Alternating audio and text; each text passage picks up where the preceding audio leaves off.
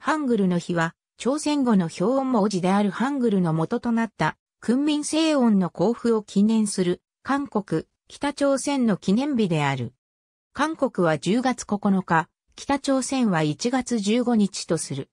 清掃実録によると、清掃は大東暦、清掃28年9月に新たに作成した文字を導入する文書である、訓民西音を交付した。1926年、朝鮮語研究会は、時の履歴9月末実に、ハングル交付第8回公記念日を祝った。研究会はこれを、カギャの日の最初の祝賀であると宣言した。この名は、カギャコ行で始まる覚え歌に基づく、ハングルの初期の交互故障であった、カギャグルを起源としている。記念日の名称は、修事業によって、1912年に造語されたと、される、ハングルがこの文字の新しい名として受け入れられた後、1928年にハングルの日に変更された。記念日は当時と危険歴に従っていた。1931年に祝賀の日はグレゴリオ歴の10月29日に切り替えられた。1934年には政党11年9月末日をグレゴリオ歴に換算した日付である10月28日に変更された。元来はこの日に書道大会やハングルを組み入れた商品展開など、文字を中心としたイベント等が多く展開されていたが、近年ではこれに関連して、言語のハングル専用化に関する運動も拡大するようになっている。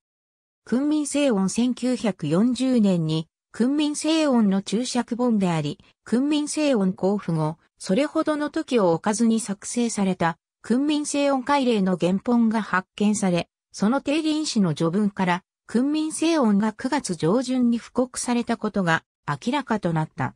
大東暦、政党11年9月10日は、グレゴリオ暦1446年10月9日である。降伏後、大韓民国政府は、ハングルの日を1945年10月9日に定めた。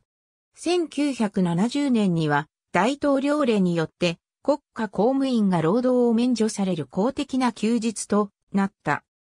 1990年、平日を増やしたい、韓国財閥の圧力により、国軍の日と共に平日となったが、国の記念日としてはそのまま残り、その後の市民運動によって2006年に国慶日に昇格した。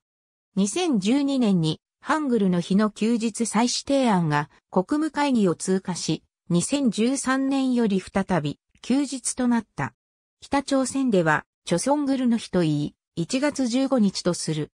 大東暦、清掃25年12月に、清掃が訓民西音を作成したことを記念する。2014年3月、中国吉林省延辺朝鮮族自治州14期、人民代表大会常務委員会9回会議は、毎年9月2日を、延辺朝鮮族自治州の朝鮮語文字の日に制定することで合意した。1981年12月11日付中央日報、AB 採石 A。変質してしまった韓国の高級日、ハングルの日、増加する排石の雰囲気。ニューズウィーク日本版。2020年11月28日閲覧。ハングルの日23年ぶり休日に再指定。2021年5月5日閲覧。ありがとうございます。